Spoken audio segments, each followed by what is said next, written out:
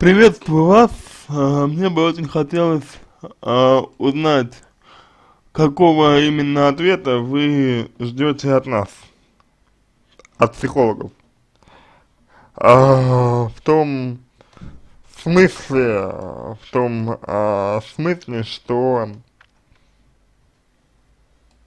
вы правда не понимаете, что происходит? Или вы просто, может быть, не хотите при, э, понимать, не хотите принимать, потому что это болезненно для вас? А вы правда думаете, что в этой ситуации можно кого-то заставить? Вы правда думаете, что а, нужно кого-то заставлять? Мириться там или что-то еще? Если вы правда так считаете, то я подозреваю, что у вас есть ряд э, личностных проблем, которые необходимо, э, ну, разбирать. Вот, потому что э, ваш парень это человек, ваш будущий муж, это человек, э, который а, страдает ревностью. И ревность, у, ну, для, для него ревность, а, это очень серьезная проблема, проблема. То есть, ревность его ответственность. Но он а, перекладывает эту ответственность на вас и считает, что вы виноваты в том, что происходит. Вот. При том, при том, что вы, как справедливо вы заметили, а, ничего плохого не сделали и сделать не могли. И исходя из этого, исходя из этого, вам нужно для начала определиться со своими ценностями. Если вы считаете, что мужчина, а, ну, ваш а, будущий муж а, вправе так себя вести, это одно. Если вы считаете, э, что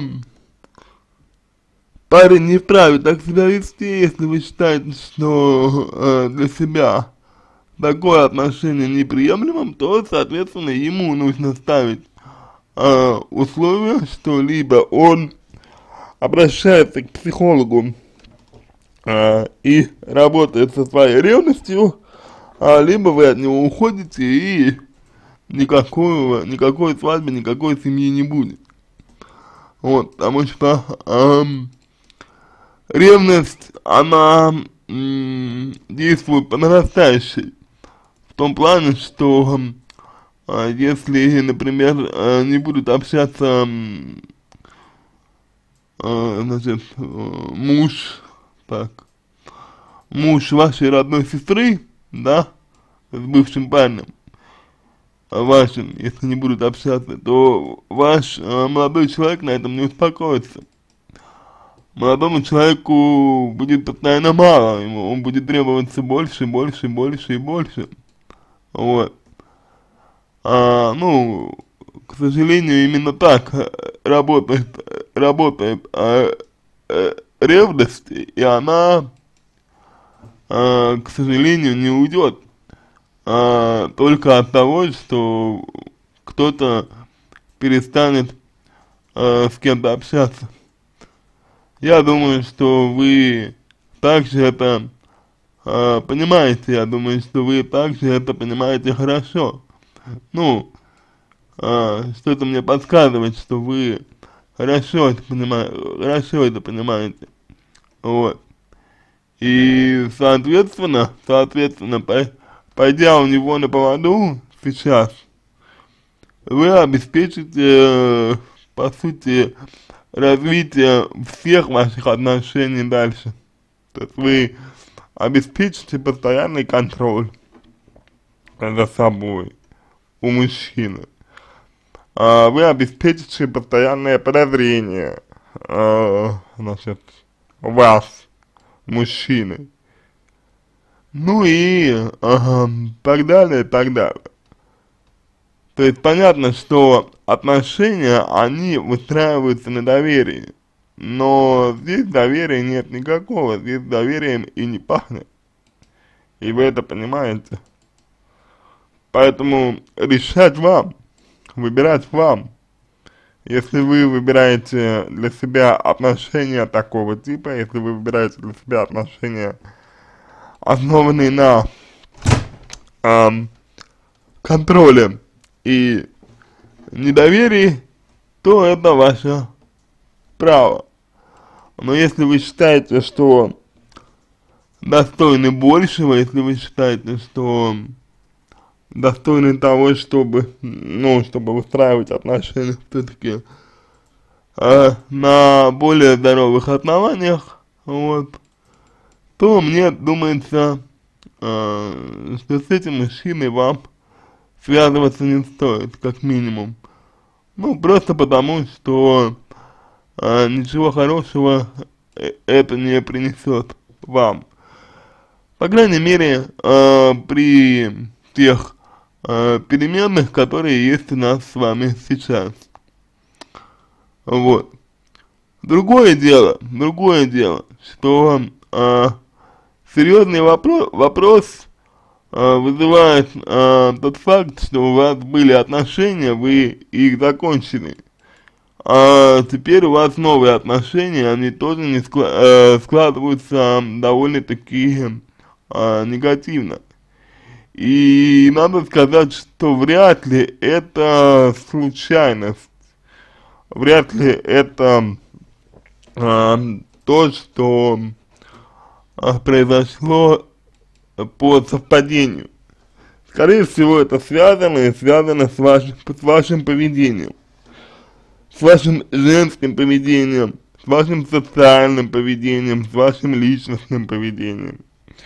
И если вы хотите выстроить нормальные отношения с мужчиной, выстраивать нормальные отношения с мужчиной, то я бы рекомендовал вам э, поработать именно над э, собой, над тем, э, как вы воспринимаете мужчин, э, что они для вас значат, э, какой каким, точнее, каким э, вы наполняете их э, смыслом, смыслом для себя, вот, и чего, чего вы от них хотите, ну, от мужчин я имею в виду, вот, это очень важно для понимания того, э, что с вами происходит.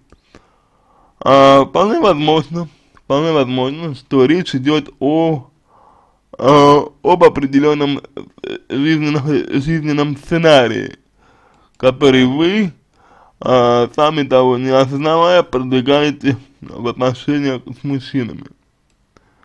Тем самым обрекая себя на, э, ну, скажем так, э, на негатив, на деструктив, на неудачу. И пока это не будет а, выявлено, и пока вы не будете а, это контролировать, вряд ли ситуация изменится в лучшую сторону. То есть у вас, то есть у вас а, будут а, периодически а, появляться вот такого рода сложности, такого рода проблемы, вот, и, соответственно, они будут вам мешать, вот. Потому что то, что происходит сейчас, да, э, ну, то, что происходит на данный момент, э, уже можно э, назвать, уже можно э, воспринять э, как, э, скажем, скажем, проблему с вашей самооценкой, вот, потому что, ну, вы видите, что мужчина э, ревнует, вы видите, что ревнует совершенно отвратительно, безобразно, вот, и э, вместо, вместо того, чтобы э, заявить о себе, вместо того, чтобы, э, значит, э, выставить границы, да, об, обозначить границы, вы вместо этого, по сути дела, э, значит, даете задний ход, соглашаетесь с ним, вот, и в итоге думаете, как, как кого-то помирить. Хотя думать об этом должны не вы, а ваш молодой человек.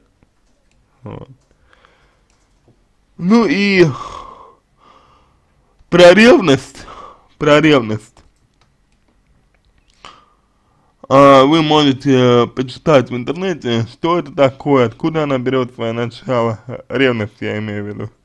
Вот. И вполне, вполне может быть, что узнав больше именно о ревности, а вы будете лучше понимать, о чем идет речь и, а, соответственно, что происходит. И, возможно, вы уже не будете надеяться на то, что это пройдет после примирения. Вот. А следующий важный момент, который хотелось бы отметить, это ваша позиция по отношению к человеку позиция жертвы, а здесь мне бы а, хотелось, чтобы а, вы изучили треугольник Карпмана, или треугольник судьбы, как его называют иногда, вот, и а, изучив треугольник судьбы, а, значит, получили бы представление о том, опять же, в какой позиции вы находитесь и с чем это обусловлено, чем продиктовано и что с этим делать. И из треугольника Карпмана а, нужно выходить, потому что в противном случае а, несчастья и негатива в вашей жизни станет больше. Вплоть до того, что вы будете вынуждены а, перестать общаться со своими родными, вот, а нас будут контролировать. На этом все. Надеюсь, что помог вам. Если у вас остались вопросы, пишите в личку, буду рад помочь. Если вам понравился мой ответ, буду благодарен, если сделаете его лучшим. А я желаю вам всего самого доброго и удачи.